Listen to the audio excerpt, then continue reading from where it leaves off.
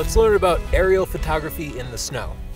I think the most beautiful time for any type of landscape photography is just after a fresh snow.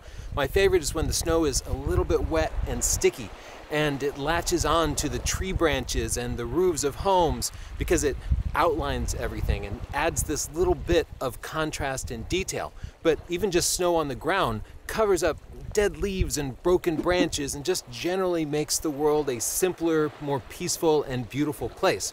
It's especially beautiful for aerial photography with a drone because those wide angle shots allow you to capture the massive amount of ground that snow can cover.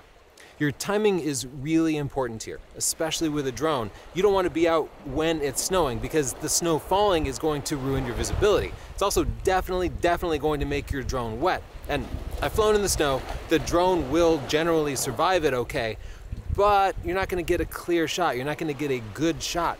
The best time is what I happen to have right now, which is the snow has stopped, but the wind hasn't raised enough to blow off all of the snow that's probably going to be in the early morning. The earlier you can get out, the better. Also, the clouds have cleared a little bit, so now I have fresh sunlight, and that's making all the snow really, really pop. There are some precautions you need to take. Before you take off, make sure all your batteries are fully charged your smartphone, your controller, and your drone. Also, you need to really plan out your flight. Think of the exact path that you're going to take, take off, and then land as soon as possible. If possible and there's wind, fly upwind first. Because you know what? In the cold weather like this, your batteries are going to die so, so fast. And they can die suddenly and unexpectedly. In normal weather conditions, you sort of see a linear progression of the battery 90, 80%, 70%, 60%. But in cold weather, I've taken it out of my warm car and I've seen the battery go from 90% to 40% and then suddenly a forced landing where the drone just kind of immediately comes down.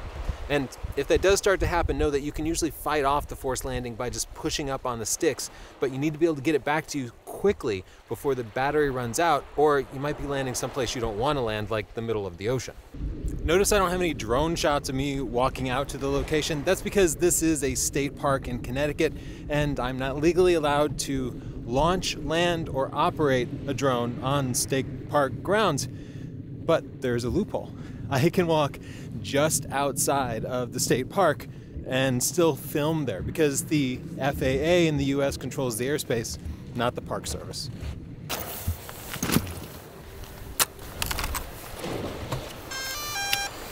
Cameras have a really hard time auto exposing snow.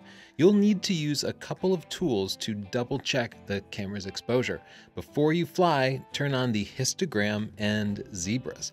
The histogram is this bar chart that shows the relative brightness of the image from the darkest on the left to the brightest on the right. And if you see the right side of the histogram peaking, that means the image might be a little bit overexposed. If there's no bars on the right side of the histogram, that means that the entire image might be a little bit underexposed. Zebras also tell you when an image is overexposed by drawing black and white lines over the overexposed part of the picture. You can see here, by changing the scene, parts of the snow became overexposed, and that means that they're going to be completely blown out and solid white.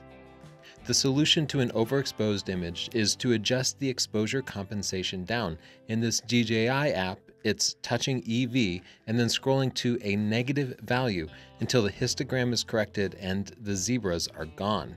Often, switching to negative 1 is exactly what you need.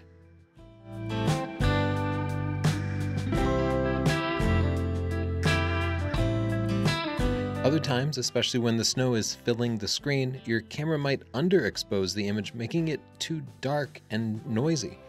You can correct this by adding exposure compensation, switching it to a positive value to make the overall image brighter. When you go to the next scene, be sure to set EV back to zero to reset the exposure compensation so you don't over or underexpose future shots. Be careful not to take off in the snow because when the drone starts up, it tends to calibrate the camera by moving it all around and it will point it directly down into the snow. If you get any moisture on the front lens, it's going to ruin your shots. Not permanently, you can usually dry it off, but it will appear as a blur on the lens. When you take off, if possible, fly upwind against the wind. That's going to burn more battery power, but if your battery suddenly drains from the cold, it'll make it easier for you to return the drone to you. In cold weather, don't drain the battery too far. I don't like to fly it below 50% because the battery power can suddenly drop as the drone gets colder, and it's particularly cold at higher altitudes. When landing, find a clear spot away from snow or catch it in your hand, but be careful not to hurt your hands.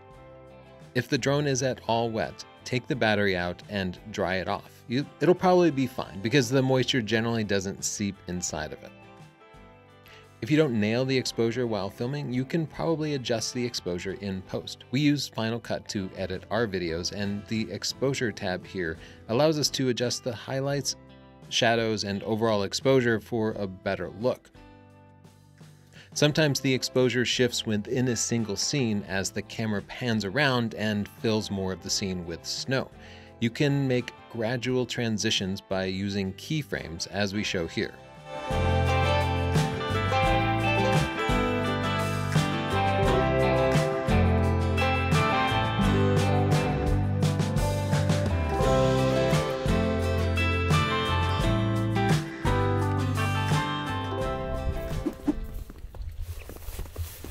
You can see, even in the time that I've been filming this, the snow has melted off the building. You really got to get there fast if you're going to do it.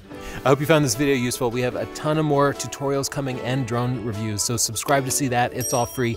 Also, check out my book, Stunning Digital Photography, which, whether you're using a smartphone, a real camera, or a drone, teaches you things like composition, timing, art, and lighting, and will really improve both your photos and your video.